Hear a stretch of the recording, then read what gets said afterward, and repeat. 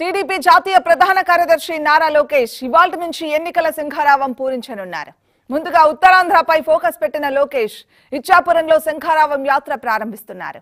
ఇచ్చాపురం రాజావారి గ్రౌండ్స్లో శంఖారావానికి శ్రీకారం చుడతారు. పార్టీ క్యాడర్ను నేతలను సమాయత్తం చేయడమే లక్ష్యంగా లోకేష్ ఈ యాత్రను చేపట్టారు. కార్యకర్తలు ప్రజలతో సమావేశమై టీడీపీ అధికారంలోకి వస్తే తాము ఏం చేయనున్నామో వివరించనున్నారు. ఇవాళ మధ్యాహ్నం పలాస టెక్కలలో భారీ బహిరంగ సభల్లో ప్రసంగిస్తారు.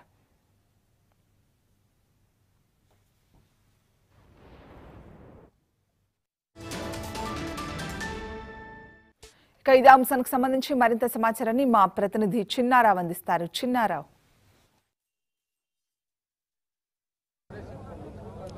Thank you Madhavi. శ్రీకాకుళం జిల్లా ఇచ్చాపురంలో నేడు రా- నేడు జాతీయ ప్రధాన కార్యదర్శి నారా లోకేష్ బాబు శంకారావం కార్యక్రమం మరికొద్ది గంటల్లో అయితే ప్రారంభం కానున్న నేపథ్యంలో చూసుకుంటే ప్రధానంగా శ్రీకాకుళం జిల్లాలో అయితే రోజుకు మూడు నియోజకవర్గాల్లో అయితే ఈ శంకారావం యాత్ర అయితే కొనసాగుతా ఉంది. ప్రధానంగా ఈరోజు ఇచ్చాపురం ప్రధాన ఏదిగ్గా తీసుకుంటూ ఇచ్చాపురంలో అయితే రాజా గ్రౌండ్లో నుంచి అయితే పది గంటల ముప్పై నిమిషాలకైతే శంకారావం పూరించనున్నారు.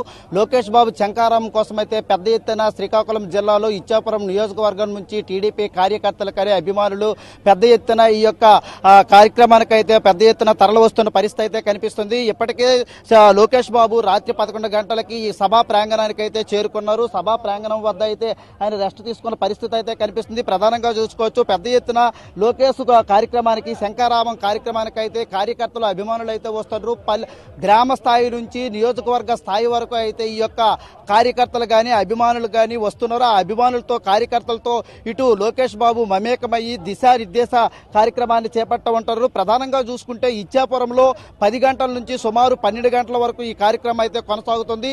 అలాగే బాబు సూరిటీ కార్యక్రమం కూడా దీనిపై చర్చిస్తారు. దీంతో పాటు ఈరోజు ఇచ్చాపురంతో పాటు పలాసలో ఇదే కార్యక్రమం అయితే పలాసలో రెండు గంటలకు చేరుకుని పలాసలో కూడా ఈ యొక్క కార్యక్రమం అయితే కొనసాగుతోంది పలాస అనంతరం ఐదు గంటలకైతే టెక్కల్లో అయితే ఈ యొక్క కార్యక్రమం అయితే కొనసాగే పరిస్థితి అయితే కనిపిస్తుంది. ప్రధానంగా రోజుకి మూడు రోజుల పాటు ఈ యొక్క శంకారం కార్యక్రమం అయితే కొనసాగుతున్న పరిస్థితి అయితే కనిపిస్తుంది. ప్రధానంగా లోకేష్ బాబు ఉత్తరాంధ్ర పర్యటనలో ఇటు చూసుకుంటే విశాఖపట్నంలో ముగించిన యువగలం పాదయాత్ర అనంతరం అయితే మిగిలి ఉన్న నియోజకవర్గాల్లో అయితే నేను ఈ యొక్క కార్యక్రమాన్ని ముందుకు తీసుకెళ్తానని మాట ఇచ్చారు. మాట తప్పకుండా అయితే ఈరోజు నూట ఇరవై నియోజకవర్గాల్లో అయితే లోకేష్ బాబు ఈ కార్యక్రమాన్ని కొనసాగే కొనసాగే పరిస్థితి అయితే కనిపిస్తుంది. మొదటగా అయితే ఇచ్చేపురంలోనైతే ఈ శంకారాం కార్యక్రమం అయితే చేపట్టారు. ఈరోజు ఇక్కడి నుంచే ఈ కార్యక్రమం చేపట్టడం ప్రధాన ఉద్దేశం ఏంటంటే ఉత్తర భాగంలో ఉన్న శ్రీకాకుళం జిల్లా ఉత్తర నుంచి ఇదే ప్రాంతం నుంచి అనేక పర్యాయులు ఎంతోమంది ఈ యొక్క కార్యక్రమాన్ని చేపట్టి సక్సెస్ఫుల్గా ముందుకు వెళ్ళారు అదే తరుణంలో చూసుకుంటే ఈరోజు లోకేష్ బాబు కూడా శంకారామ కార్యక్రమం ఈ వేదిక వద్ద నుంచే శంకారాం మరికొద్ది గంటల్లో అయితే